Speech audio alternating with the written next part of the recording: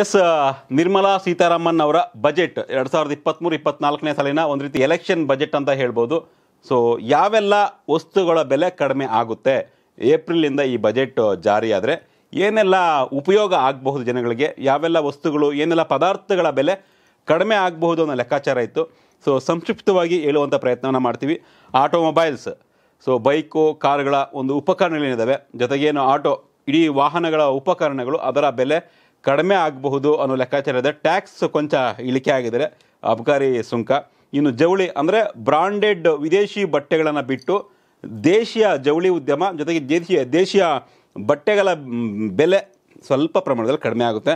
ಆಮೇಲೆ electric vehicle electric vehicle ಮೇಲಿನ ತೆರಿಗೆಯನ್ನು ಕಮ್ಮಿ ಮಾಡ್ತಾ ಇದ್ದಾರೆ.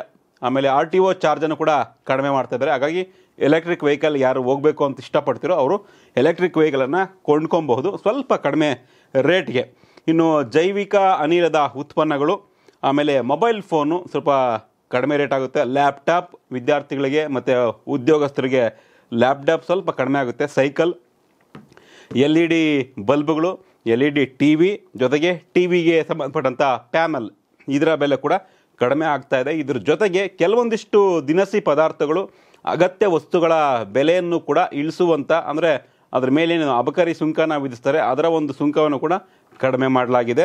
ಸೊ ಇದಿಷ್ಟು ಯಾವೆಲ್ಲ ಕಡಿಮೆ ಆಗುತ್ತೆ ಏಪ್ರಿಲ್ ಒಂದನೇ ತಾರೀಕಿಂದ ಈ ಬಜೆಟ್ನ ಪರಿಣಾಮವಾಗಿ ಏನೆಲ್ಲ ಕಡಿಮೆ ಆಗಬಹುದು ಅಂತ ಆಟೋಮೊಬೈಲ್, ಜವಳಿ, ಎಲೆಕ್ಟ್ರಿಕ್ ವಾಹನ, ಜೈವಿಕ ಅನಿಲ ಉತ್ಪನ್ನಗಳು, mobile phone, laptop, cycle L E D T V L E D bulb T V panel ಮತ್ತು ದಿನಸಿ ಪದಾರ್ಥಗಳು.